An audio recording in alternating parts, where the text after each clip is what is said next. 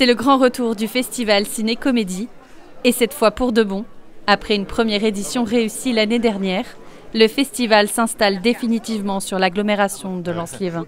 On a choisi ce territoire tout simplement parce qu'on nous a dit déjà que c'était l'endroit où il y avait les meilleurs supporters au monde et on a découvert également que c'était le meilleur public au monde pour le cinéma et la comédie en particulier. C'est vrai qu'on était avant sur l'île, on a fait six éditions à Lille et on s'est dit c'est le bon moment pour, euh, changer tout en restant dans la région Hauts-de-France. Le festival est largement porté par la région et l'agglomération de Lens-Liévin. Alors, euh, on a l'habitude d'avoir un, une terre d'accueil dans le Nord-Pas-de-Calais, peut-être encore un peu plus à Lens, et c'est vraiment un vrai plaisir, un réel plaisir pour nous de vous accueillir, de vous avoir durablement chez nous, qui maintenant va, je l'espère, être un peu aussi chez vous.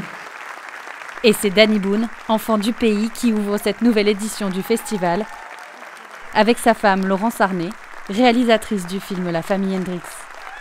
Oui, ben, je suis très heureux de savoir que c'est plein, que les gens sont contents d'être là. Et je suis ravi de présenter le film de, de Laurence. Et, euh, il, est, il est extraordinaire dans le film. il est Une programmation riche, avec cette année un prix spécial de la comédie. On a quelques légendes en France de la comédie, comme Pierre Richard, Valérie Lemercier, et donc on tenait à leur rendre hommage, et donc on a créé ce prix pour ça, et on va faire deux soirées exceptionnelles euh, avec eux. Le festival mise cette année sur l'olympisme, avec la venue exceptionnelle des Charlots pour les fous du stade. On aura également un parcours de la flamme, alors c'est pas la flamme olympique, c'est la flamme de la comédie, mais l'idée justement c'est de pouvoir revisiter le sport à travers des comédies cultes.